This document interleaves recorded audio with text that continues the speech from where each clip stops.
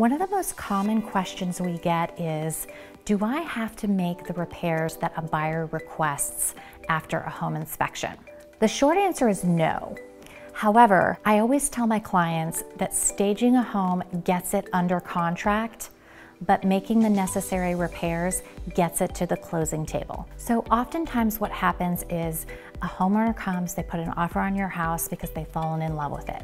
Then they have the home inspection. If you decide not to make the repairs that the buyer requests, they have the opportunity to terminate the contract. Then you're required to disclose those findings in the future, and you will likely still have to make those repairs. Oftentimes, the first offer that you accept is going to be the best offer. The longer the house sits on the market, the less money you're generally going to get. It is usually in your best interest to negotiate with the buyer to make the major repairs necessary. Generally, I would say get a pre-listing home inspection so that you are prepared in advance of what the potential objections buyers are going to have. This puts you in a better negotiating position because you know already what repairs are going to be requested by most of the buyers. You can then request quotes on any of those major systems that need to be repaired